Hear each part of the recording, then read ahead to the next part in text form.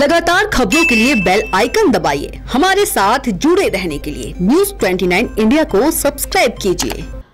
नमस्कार, स्वागत है आपका न्यूज़ 29 इंडिया में। मैं हूँ आपके साथ कविता पांडे।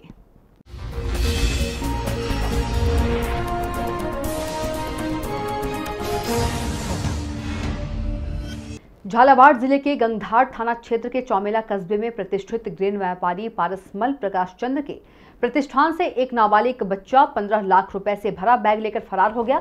आपको बता दें कि व्यापारी का मुनिम बैंक से व्यापार के लिए रुपए लेकर आया था, जो काउंटर पर रखकर किसी दूसरे काम में लग गया। इस दौरान मौके का फ़ायदा उठाकर नाबालिग बच्चा बैग उठाकर फरार हो गया। मामले की जानकारी मिलते ही गंगधार पुलिस ने नाकेबंदी कर सीसीटीवी फुटेज के माध्यम से खोजबीन शुरू कर दी है। सीसीटीवी कैमरे में नाबालिग बच्चे का वीडियो दिख रहा है जिसने मास्क लगाया हुआ है और रुपए से भरा बैग लेकर प्रतिष्ठान से भाग रहा है।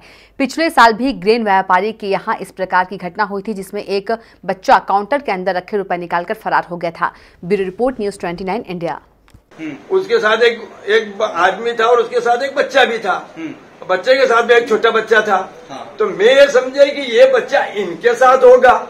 तो मैंने और यूँ मुँह से कहा कि ये छोटा जो छोटा मरच है और मैंने ये कहा ने वो अब उसके बाद में वो छोड़ा कि मैं तो दूसरे काम में लग गया मुझे क्या ध्यान? इसने मेरे से कह देता ना कि ये बैग यहाँ पड़ा हुआ है आप ध्यान रखना या आपके हाथ में ले लो। तो मैं लेकर के मेरी गोद में ले लेता। इसने मेरे से कहा ही नहीं। ये आकर के ये चिट्ठी बनाने लग गया। अब वो किस समय आ गया ना तो के ले गया।